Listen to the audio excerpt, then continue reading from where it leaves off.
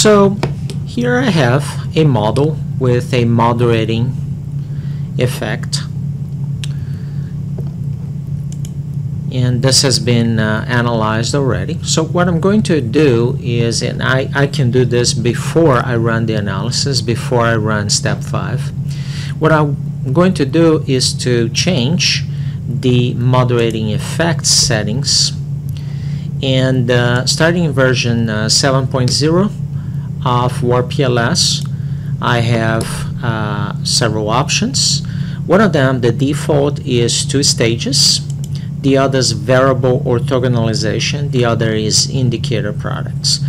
The two stages uh, option is um, an option that where the uh, latent variable scores are calculated and then the um, the uh, interaction latent variable that is used to operationalize the moderating effect is calculated based on those indicators. So in this option, if you go and look at the the um, the indicators uh, in latent variables, say indicator loadings and cross loadings, what you see is you will see um, a loading of one and only one indicator associated with that latent variable that is the interaction latent variable. Of course, in WarpPLS, um, the, the graph shows the moderating effect as it should be shown, which is as a link between the latent variable and another direct link.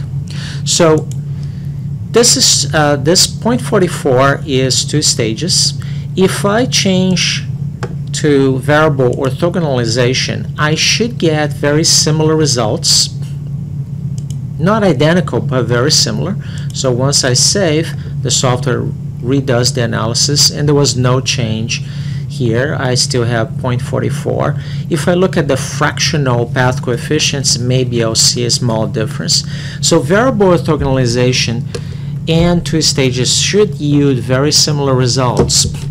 If um, there is no major source of bias such as uh, endogeneity in the model the other option, so I have uh, my outer model analysis algorithm, PLS regression, which is a composite-based algorithm. So if I use the other option, indicator products, I should also get this very similar results, very similar results. So I will do that, and again, no change here.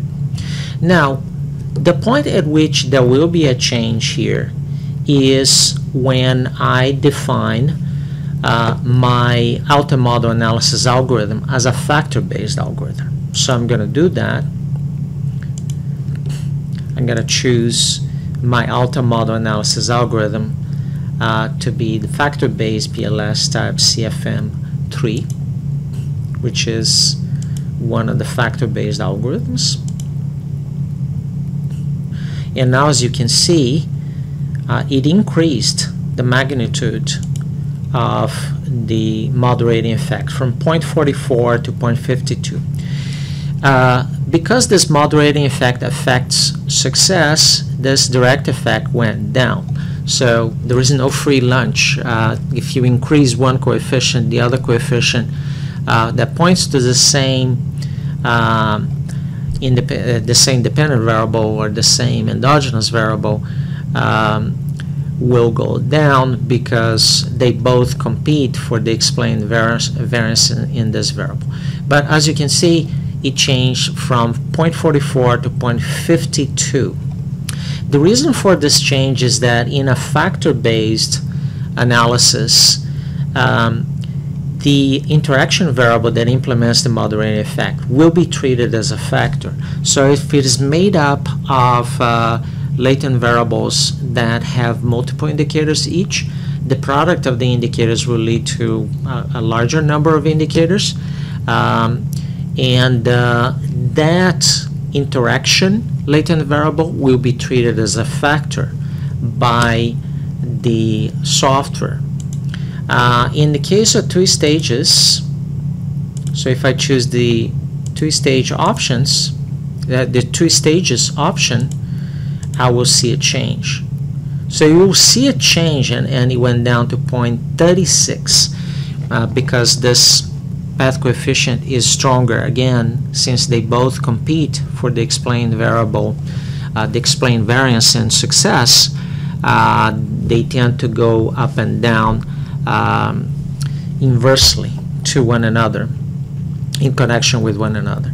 So uh, the, the options for moderating effects calculation, uh, they tend to have uh, more of an impact in terms of the coefficients when we use factor-based algorithms. When we use composite-based algorithms, the difference between the three approaches is minimal, with the two stages, which is the default, being the most computationally efficient.